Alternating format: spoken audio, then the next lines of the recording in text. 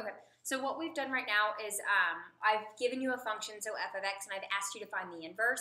Now we're looking at something slightly different, very, very similar. I've given you two functions. Um, so this is your first example. f of x equals 3x plus 9, and g of x equals 1 third x minus 3. So now my question to you guys is, are these inverses of one another? And the way that we're going to do that um, is called the composition of functions. So basically, we're taking one of these functions and we're putting it into the other one, and then vice versa. Uh, so you'll see, uh, we're going to start with the composition.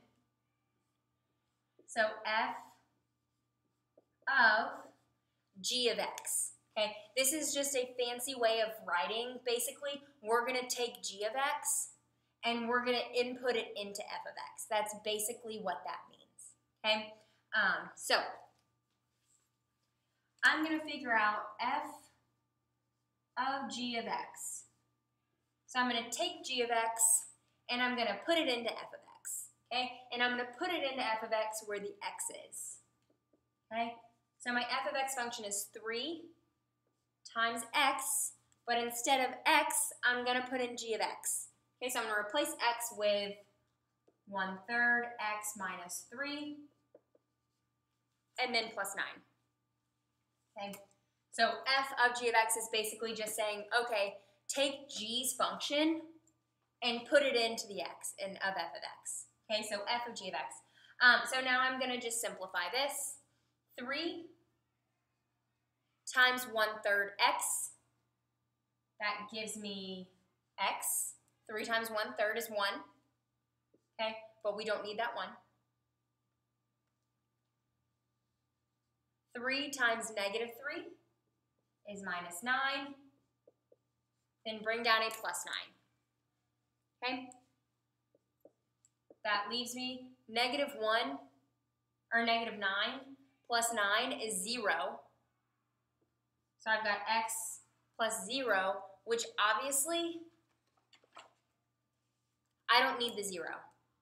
So all I did was take g of x, and I plugged it into f of x and I got x. Now we need to check the other composition. Okay?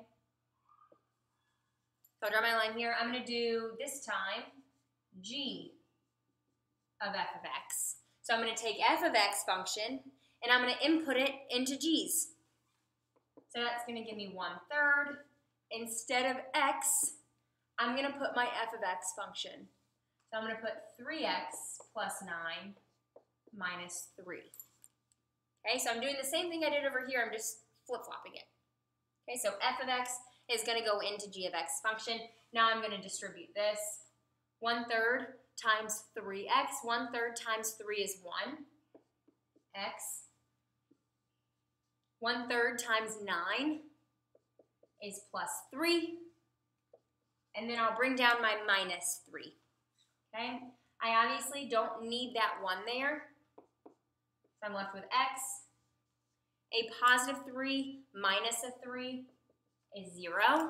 But you guys know I don't need that plus 0. So I'm left with x again. Okay?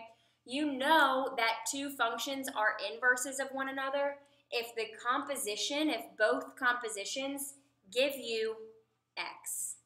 So my f of g of x gave me x, and my g of f of x gave me x. So yes, f of x and g of x are inverse functions.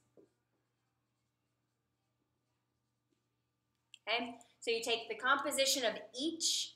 If they are both x, they both end in x after you simplify, then yes, f of x and g of x are inverse functions. If we ended up with something down here that is not just an x, they are not inverse functions.